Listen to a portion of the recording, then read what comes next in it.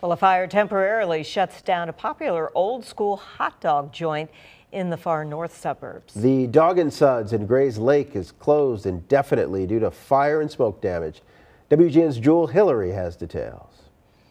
Hi, Jackie and Tahman. This 1950s style eatery has been here in Grayslake since the 60s. It's one of those spots where you can pull up and eat in your car.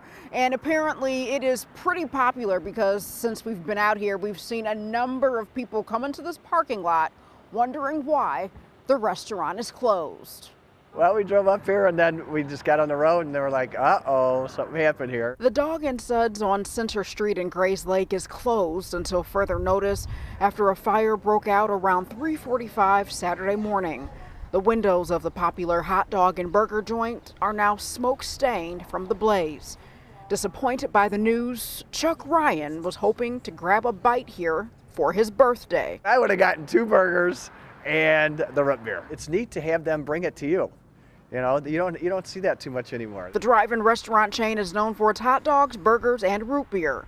Chuck says he has fond memories going to a dog and suds in the south suburbs. The place down in Homewood Flossmoor closed out about 20 years ago. So this is, as far as we know, maybe the last vestige of Dog and Suds. According to the Grayslake Fire Department, the fire started in the back of the business and caused about $120,000 worth of damage. They say the Gurnee and Round Lake Fire Departments helped extinguish the blaze. Thankfully, no one was hurt, and the popular drive-in eatery is expected to reopen, hopefully sooner than later, for customers like Chuck craving a nostalgic fast food meal. Well, I think we got a fallback. We're going to have to decide what to do here. It won't be as good as Dog and Suds, but I'm sure it'll be good.